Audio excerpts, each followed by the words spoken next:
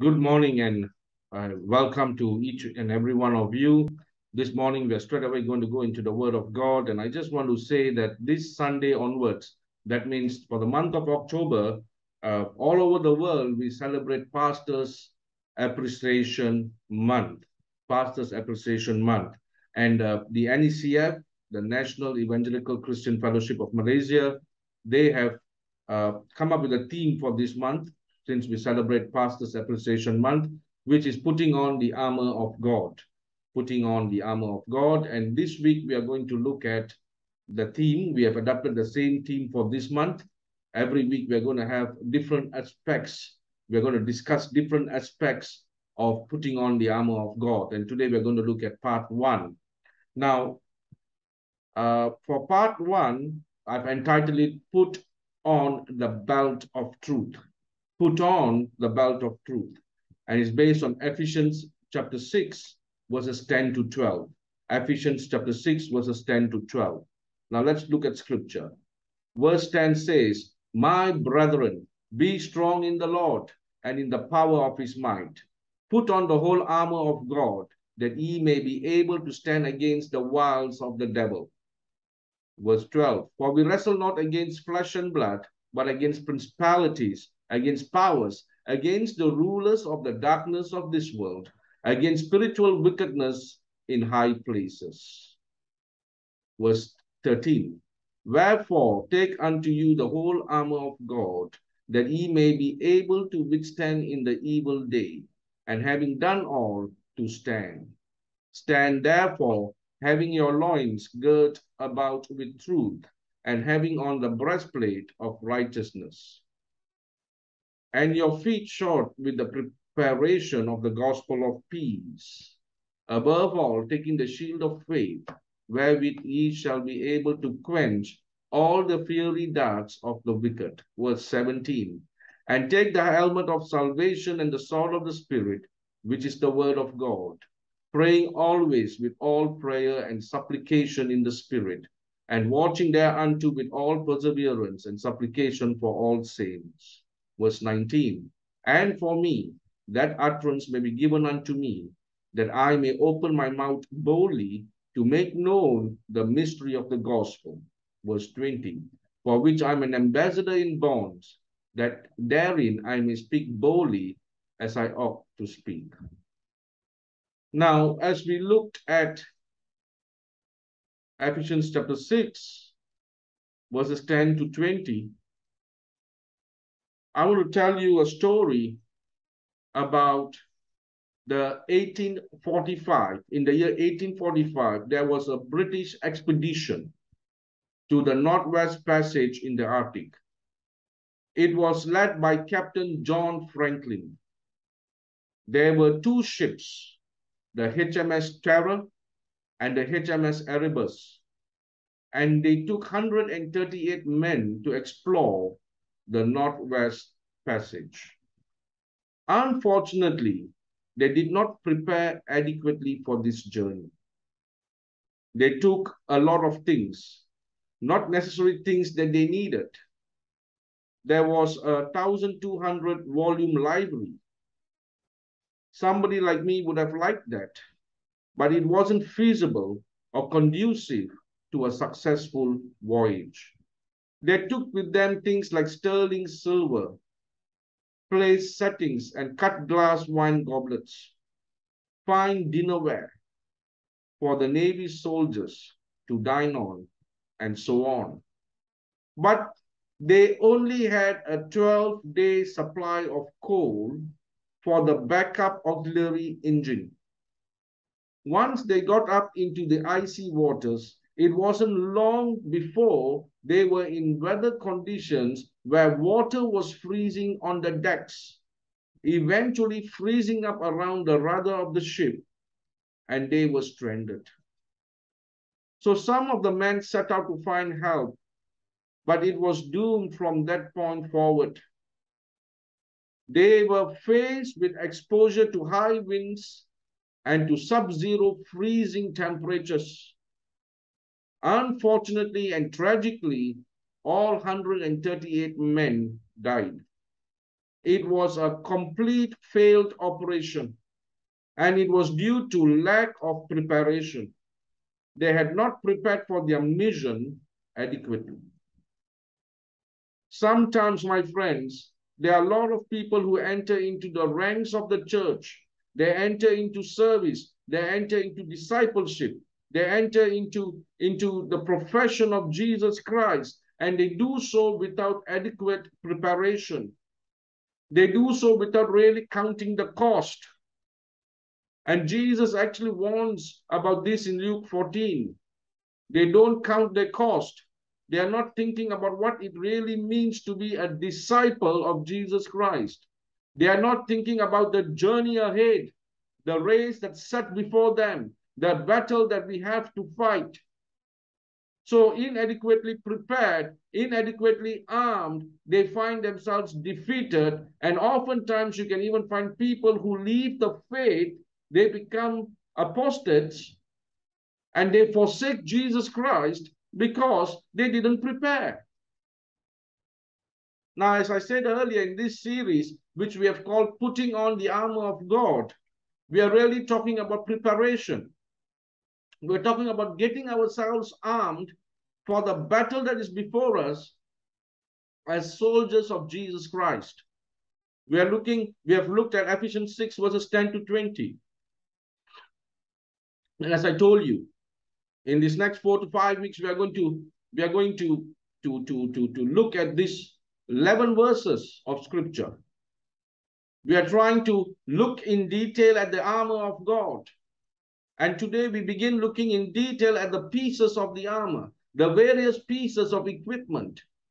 Today we come to verse 14. We're going to focus on verse 14, which is all about the belt of truth.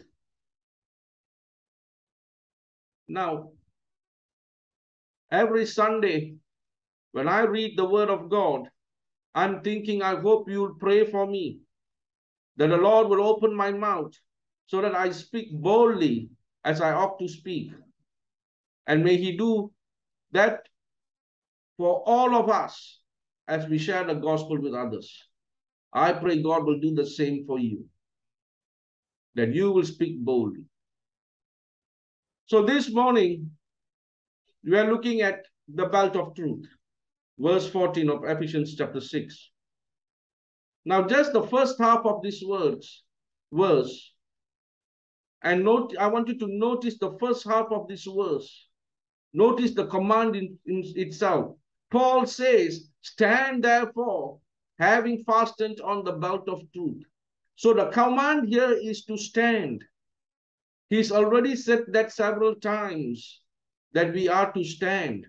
He's already told us to put on the whole armor of God. Now he's saying, stand, having fastened on the belt of truth. So the presupposition here is that it is not only if we are clothed in the armor that we are able to stand. Actually, this language here of fastening on the belt of truth is more literally girding up your loins with the truth girding up your loins with the truth. Now, we don't talk that way today. We don't really use that language of girding up the loins. But that is how people talked in the ancient world because of the way they dressed. They didn't wear jeans and shirts like we wear today. They wore tunics and they wore robes. So when they were preparing for a journey, or when they were preparing for a battle, or when they were preparing for any kind of active endeavor, they would gird up the skirts of those robes and they would fasten a belt around them and they called it girding up the loins. So it became a common metaphor for preparation or for readiness. These robes, these tunics would be girded up, fastened about the waist, and this is often used in scripture to describe the readiness and the preparation that we are to have. A couple of examples would be, for example, in Exodus 12, the Passover. You remember how the children of Israel were to eat the Passover with their loins girded. with sandals on their feet and staff in their hands. They were to eat it in haste because they were to be ready for the journey. As soon as the Lord set them free, they were to be ready to begin their journey, their exodus out of Egypt. In 1 Peter chapter 1 verse 13, 1 Peter chapter 1 verse 13, we read these words. Therefore, preparing your minds for action and being sober-minded, set your hope fully on the grace that will be brought to you at the revelation of Jesus Christ. Now that's the that's according to the ESV version. Literally, it is therefore girding up the loins of your mind and being sober-minded, set your hope fully on this gracing coming at the revelation of Jesus Christ. So it's about, it's all about preparation. It's all about preparation. This girding up the loins with a belt that Paul has in mind isn't so much a belt that you would think of today, like a strip of leather. It was rather a leather apron. It would have been something that covered much of the body. And it was the foundation piece to the armor. It wasn't the armor itself, but it was the foundational garment on which all of the other armor was placed. It was the found it was foundational in the sense that it gave support to the rest of the armor. And in girding up the loins, it provided freedom and mobility so that when someone got into battle, they would not be entangled in their robes. Maybe even Paul has this language, this metaphor in mind when he tells Timothy in 2 Timothy 2 to be a good soldier of Jesus Christ. And he says, No soldier is entangled with civilian affairs, but his mind is rather to please the one who has enlisted him. So that's the metaphor that we are thinking of here. We are thinking of the foundational garment beneath all of these armor the one that provided support and the one that provided mobility for the soldier. Paul tells us that we are to gird up the loins of our mind with truth. So what does he mean by that? I want to suggest three ways this morning, three ways into understanding what it means to put on the belt of truth, to gird up our loins with the truth. The first point is the word of truth. The first point is this. We gird up the loins of our minds with the word of truth. So now we are thinking about truth objectively considered. Okay, the truth of God's word. I think this is right for us to apply it in this way because Ephesians 1.13 says, where you uh, uh, uh, where we find the first word or the first use of the word truth is the same word in this letter to the Ephesians. So, so in Ephesians chapter 1, verse 13, Paul says, In him you also, when you heard the word of truth, the gospel of your salvation, and believed in him, were sealed with the promised Holy Spirit. So right there, he's referring to the word of truth. The truth is the truth that comes to us through the word and it really is another name for the gospel of Jesus Christ. Of course, the gospel comes to us through the written and revealed word of God, the word of truth. The first point that I want you to take note of is this. I would suggest to you, in the same way that the apron provided support and stability for the soldier, in the same way, the word of God the word of truth provides strength and stability for us. My friends, I want you to remember how the Apostle John says in 1 John 2, he says this, I write to you, young men, because you are strong and the word of God abides in you and you have overcome the evil one. We get strength through the word of God. The word of God abiding within us, dwelling within us. That's where our strength comes from. When we have the truth of God's word operating in our life, it gives us strength, it gives us stability. You know, the psalmist said this, your word have I hidden in my heart that I might not sin against you. I remember someone said many years ago that if you find someone whose Bible is falling apart, their life probably isn't falling apart. Because the Bible, God's word, it gives us strength, it gives us stability, it strengthens us, it supports us for the battle. Secondly, on this first point is this not only that it gives us freedom and mobility. So the words of Jesus in John chapter 8, verses 30 to 31, he says, If you abide in my word, you are truly my disciples, and you will know the truth, and the truth will set you free. Freedom that comes from the word of God, that's where we get freedom in our lives to run the race that's set before us and to fight the battle that's before us. Now, I know that probably at least half of us or most of us, when we woke up this morning, we thought not only that today is the Lord's Day, it's Sunday. We thought that it's another special Sunday. And I'll tell you what I, I, I do on a Sunday or on any other day. It's something like football. You know, in a football game, in a football team, a football team is made of many members of players, but you also have got the coaches. Now, I do like coaches. Now, this is what a great coach did once after his team faced a heavy defeat. He walked into the locker room and he held up that football and he says, Gentlemen, this is a football. Am I going too fast for you? He was taking back or he was taking the team back to the basics. And it proved to be very effective for during the next three seasons, the very same team won the championship. He was a really good coach because he took his people back to the basics. And this morning, I want to say this to you, my dear friends. If you're having a Bible in front of you, I want you to hold it up. And I want to, I, I'm telling you this, this is the Bible. Am I going too fast for you?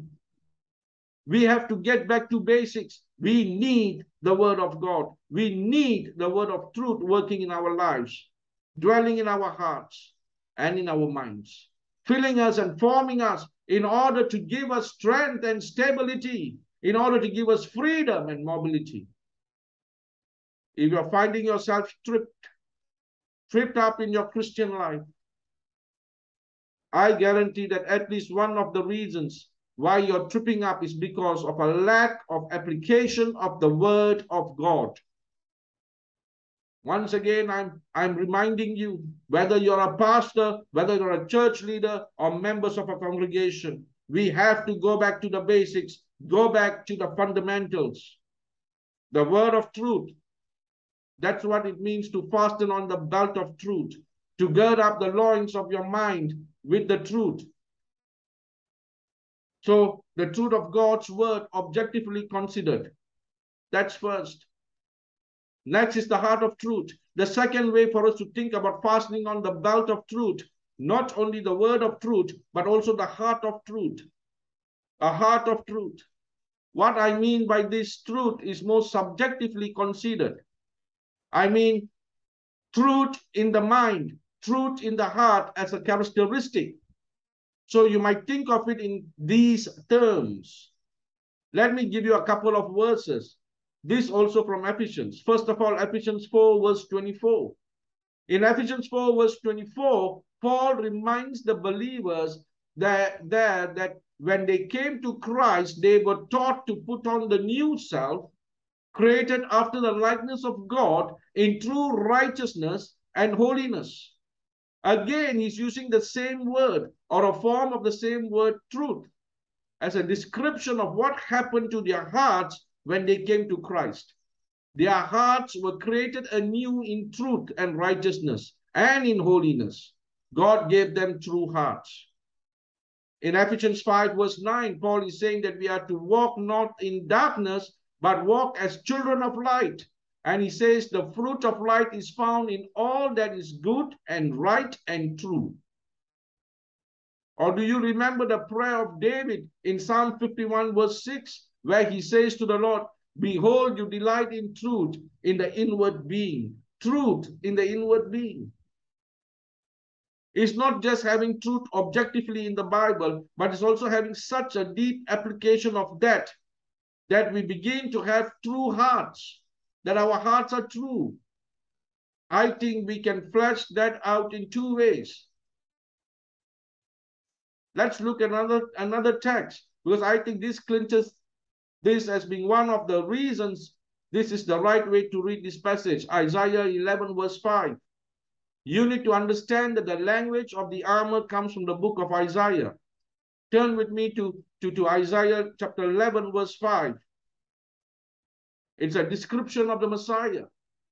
He is called a stem from the root of Jesse. And this one who's clothed with the sevenfold spirit of God, the spirit of wisdom and might and so on. Jesus applied this passage to himself. And then in Isaiah 11 verse 5, it says, righteousness shall be the belt of his waist and faithfulness. Now the word faithfulness or truth or truthfulness, the belt of his loins. That's considering truth as this inward quality, truthfulness. So I think it's right then for us to apply it that way ourselves as well. I think we can break this down then into two different ways. Firstly, it means, first of all, sincerity versus hypocrisy. To have a true heart means to have a sincere heart. To have a, a, a, true heart means that we are genuine. It means that we are authentic. It means that we are the real deal. That we are really who we say we are. We are not hypocrites. We are sincere. We are single-minded. We are focused on really giving our lives and all of our lives to the Lord. I love the words of Joshua. And, and I will say this, Joshua is a great example of this, a great model of what I just told you. In Joshua 24 verse 14, the word of God says, Now therefore fear the Lord and serve him in sincerity and in faithfulness. Put away the gods that your fathers served beyond the river and in Egypt and serve the Lord. My friends, remember how Jesus says that we are to have a single mind, to serve with a single eye. Paul talks about serving in sincerity. He talks about how his message was not yes and no. His message was not given with any kind of false motives. He had one singular ambition, one sincere desire, and that was to know Christ, to please Christ, and to make Christ known. That should be the heart of the Christian. That should be the heart of the church. The heart of the Christian should be a sincere heart, not a hypocritical heart. And then secondly, having a heart of truth means integrity versus duplicity. Integrity versus duplicity. James in his letter warns about the double-minded man, literally the two-souled man. The double-minded man, the double-hearted man who is unstable in all his ways. Any of you remember? I think this is sixth or seventh grade math. Do you remember the difference between an integer and a fraction? A fraction is a part of a number, right? For example, 0.5, 1 half, 1 fourth, 1 third. You remember what an integer is? It's a whole number. Integrity is a whole heart. That's what it means. It means a heart that's integrated, it's whole, it's complete, it's put together. So part of what we have to ask ourselves is, do I have a whole heart for the Lord? Is my whole mind and heart devoted to him? Warren Wiersbe has said that some Christians, instead of being like the man who built his house on the rock, he said some Christians are building duplexes, half of it on the rock and half of it on the sand. Serving God and the world, serving two masters. Jesus says nobody can serve two masters. He'll either love the one and hate the other, or he'll cling to the one and despise the other. So how do you know if you have a whole heart? This morning, I'm going to suggest a few tests by doing this test, we will find we, we find scripture or we find right in the scriptures. Firstly, think about your spiritual disciplines. Jesus does this in Matthew 6. Think about your spiritual disciplines, your act of personal piety towards the Lord. Piety towards the Lord. Do you pray more in secret than you do in public? Do you pray more in private than you do in public? Do you pray in secret? Do you have that time? What Jesus describes as time is the closet, in the closet, the secret place where you are seeking God and you're seeking God in private. Not just praying in a small group, not just praying at meals, not just praying in front of your family, but do you pray in private and pray more in private than you do in public? That's a test. Jesus said that those who make a show of their prayers are doing it in order to be seen by men. And he says that they have their reward. But when you pray to your Father in secret, you have your reward from your Father because you're seeking Him. So think about your disciplines. Think about your prayer life. Think about your fasting. Do you ever fast? And when you fast, do you make sure everybody in your family and everybody else knows about it? Then you lose the reward. Think about your devotional life, your Bible reading. Are you able to spend time in the Word and write some thoughts in a journal without making an Instagram post of it? You know what I'm saying? Secondly, think about your holiness. Is your holiness holistic? Or is there a hole in your holiness? Is it holistic? That is, are you seeking, are, are you to seeking to be holy in every aspect of your life? I think sometimes our tendency is we are focusing on the sins that trouble us the most. We are focusing on the sins of commission, the things that we do that we know that they are wrong, and we feel convicted of those, and we want to repent of those. But we are not thinking about the things that God commands. We are not doing. We are not thinking of sins of omission. We are not thinking of sins of neglect. We are dealing with the sins that really give us trouble. But we are not dealing with, the, with, with every sin in the way that God wants us to. Thirdly, here's another test. Do you love God? Do you love the people? You remember how the Apostle John says that you can't love God and not love your neighbor. If you love God, my friends, and you hate your neighbor, the love of God does not dwell within you. It's loving God with all your heart, with all your soul, with all your mind and strength. And it's loving our neighbor as ourselves. Two parts of the law, the Ten Commandments. The first part is loving God, and the second part is loving your neighbor. There some people who on the surface obey the first part of the law. They don't really but they do so in pretense. They're all about the religious stuff. They never miss a day of worship. They never miss a prayer meeting. You know, they're always there. They're very meticulous. They're very specific and detailed about the vertical aspects. But then they are yelling at their wives and children without any kind of repentance or apology. And they are neglecting the needs of people and they are judgmental and they are critical and they are harsh. They are really religious. They are Pharisees. They are concerned, they think with the first part of the law, but not with the second. And then, on the other hand, you have some people who are all about loving your neighbor. They're all about loving your neighbor. They're all about justice, social justice, and those kind of things. And we should be about social justice rightly defined. But they're all about that, but they completely neglect the vertical. They are not really loving God with their heart, soul, mind, and strength. They are not doing it for God. They are really legalist. They are moralist because they are not bringing those two things together. We have to bring them together loving God with heart, soul, mind, and strength, and loving our neighbors as ourselves. I love the prayer of Psalm 86, verse 11.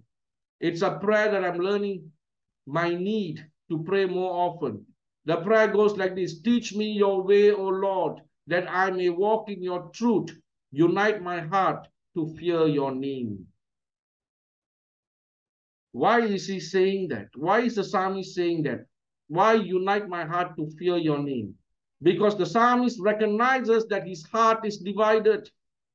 He is recognizing that his heart is in pieces. He is recognizing that his heart is in fragments. There's a piece over here, and there's a piece here given to Jesus, and there's a piece here that's given to the world, and there's a piece here that's all about self ambition. There's a piece that's all about bodily appetites. His heart is divided, and he's saying, Lord, gather the parts of my heart and unite them that I might fear your name. You know, there is this writer long time ago, William Gurnall, who wrote this big, thick book called The Christian in Complete Armor. Now, this book is about 1,200 pages of double column, fine print ex exposition of the entire armor. One of the things, a beautiful illustration from Gurnall is this. He said that the Christian's heart is like these scattered pieces of metal is like a metal object that's been broken and splintered and fragmented and they are lying on the floor. And he says what needs to be to happen is these pieces need to be gathered up and then melted once again in the furnace of God's word, cast into a new mold so that we have a united heart. We have a whole heart for the Lord. Have you recognized your need for that, my friends? Thirdly, the truth as it is in Jesus. So how does that happen? How do we get a whole heart? How do you get a true heart, a sincere heart, a heart of truth? The answer is found in our third and our last way of thinking about this text, and that is thinking of the truth as it is in Jesus. I'm drawing that language from Ephesians chapter 4, verses 20 to 21, where Paul says, but that is not the way you learned Christ. He's reminding them of the way they once lived. They used to live as the Gentiles. And he's saying that they're no longer, they are no longer to live that way in the futility of their minds, with darkened hearts and understanding and sensuality and greed and all of these negative sinful things. Paul says, but that is not the way you learned Christ assuming that you have heard about him and were taught in him as the truth is in Jesus. Jesus is the core of truth. He is the centerpiece of truth. Jesus is the, is the source and the substance of all truth, my friends. He is the perfect living embodiment of truth and faithfulness. So objectively, when we are thinking about the truth or the word of truth, Jesus is the source of the word of truth. It is the spirit of Jesus that inspired the prophets of the Old Testament to write the word. There are a lot of people who want to pit Jesus in the New Testament against the Old Testament, as if we can do away with the old. We don't need the old anymore now that we have the new. Now, it is true that there is a distinction between the old covenant and the new covenant. But when you read the New Testament carefully, you will see that over and again, Jesus is quoting with approval, has been spoken by God with divine authority, the Old Testament.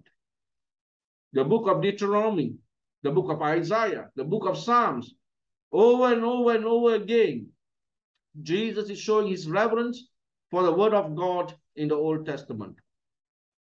But not only that,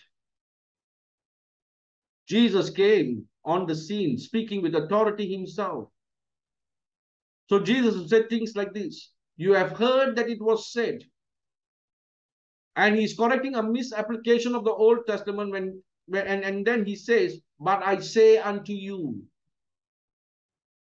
Or he will begin a statement in this way. He will say, truly, truly, I say unto you. My friends, no rabbis talk like that. They would speak a word and then they would end it by saying amen. But Jesus says, Amen, Amen. That's what the word truly means. Amen, Amen, I say unto you. He's speaking with authority. Now, why is Jesus speaking with authority? Because Jesus is the source of truth. Not only that, he is the substance of truth. You remember how Jesus says in John chapter 14, verse 6, I am the way and the truth and the life. No one comes to the Father except through me. So when the heart of truth, the core of truth, the substance of truth is Jesus. You don't get truth, even the word of truth, apart from Jesus. You can have Bible knowledge and not really know Christ. Paul is saying you have learned the truth as it is in Jesus. With Jesus the centerpiece, with Jesus the focus, with Jesus the one who is personal, who's personally teaching you by his spirit as you gaze on his face on every page of scripture. We have to learn the truth in Jesus. For for us to put on the belt of truth is to put on Jesus. He is the armor. We put on Christ as we put on Christ as the truth. And then, subjectively, Jesus is the perfect embodiment of sincerity and integrity, of a true heart. Nobody ever lived with as much integrity as Jesus. Nobody ever lived with a whole heart like Jesus did. Jesus loved God the Father with all of his heart, soul, mind, and strength, and, his, and he loved his neighbor as himself. Jesus loved his enemies. He loved us to the very end. He loved us to the point of death. Jesus is the Messiah.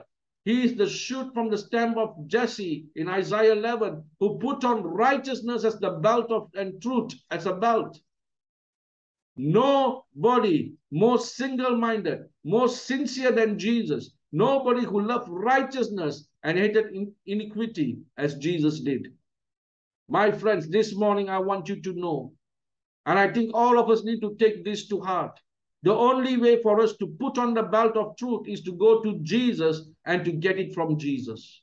We get a new heart from Jesus. He is the one who creates a heart in true righteousness and holiness.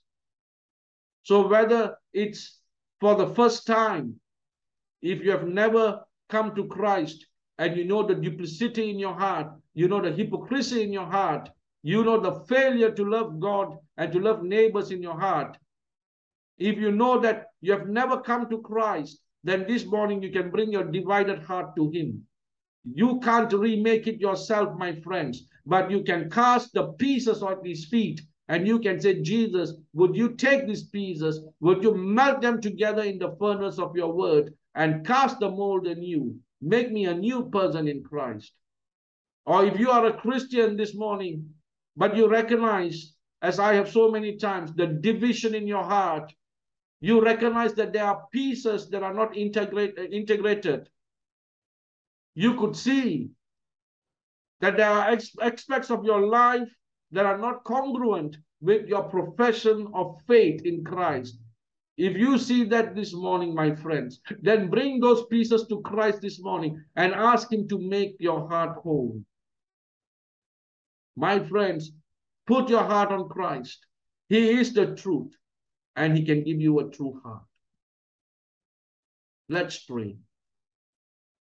Gracious and merciful God, Father Almighty, we acknowledge this morning the division and duplicity of our hearts. We acknowledge our great need for your mercy and for your grace. Lord, there have been so many times where we have found our heart wandering. And by the grace of your Spirit, you have shown us, you have awakened us to need for repentance and for grace and for wholeness. And this week has been a soul searching week as we go through this passage. May this week be a soul searching week. Father, I pray that all of us this morning will search our hearts, examine ourselves, and that we would be honest and that we would bring to you the true condition of our hearts. And that whatever needs to change by your Spirit, show us this morning. Show us what needs to change. Show us where we are not whole. Show us where we are not true. Show us where we have not applied the word to our lives or where we have not been devoted to scripture, where we have neglected our Bibles. Then give us repentance. Give us a new heart. Give us true hearts, Lord. Create us anew by your Spirit. Father, for any who don't know Christ, would you right now give the gifts of faith and repentance, open eyes, new understanding, and irresistible drawing to Christ. Bring those who are, who are lost, Lord, into your kingdom. Father, we also pray for our pastors as we celebrate Pastors Appreciation, Appreciation Month this October. We pray that all pastors and leaders will stand firm, gird up the loins of their minds with the word of truth. That all pastors and leaders fasten on the belt of truth, not only the word of truth, but also the heart of truth. We pray that all pastors and leaders will think of the truth as it is in Jesus. We ask all this in Jesus' mighty name. Amen. My friends on social media, we thank you for joining us. Look to Jesus because he's the truth. And to those who are in our household, please hold on. To our friends on social media, we will see you on next week. Have a wonderful week ahead. God bless you all.